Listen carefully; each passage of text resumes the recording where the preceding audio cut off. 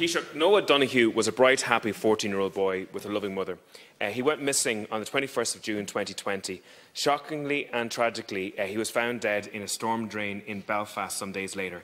Since then, his family have been seeking answers to the circumstances surrounding his death. The PSNI have actively sought to withhold information surrounding his death and instead have put more effort into questioning and potentially prosecuting his mother uh, for, withholding, uh, for holding a memorial walk. Now, the PSNI seek a public interest immunity certificate.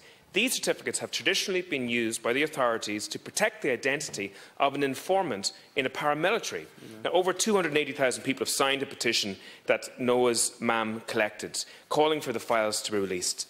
Taoiseach, will you raise this issue with the British Government to ensure that the PSNI make sure that there's justice achieved for Noah? Thank you for raising the issue, and I will, um, you know, I'm conscious of the fact that it's, it's, it's under the investigation by the PSNI. We don't have um, jurisdiction over the PSNI. So there are obviously practical difficulties in terms of what we can do here, uh, but I will reflect on what the Deputy has said and see how best we can go about uh, raising the issue.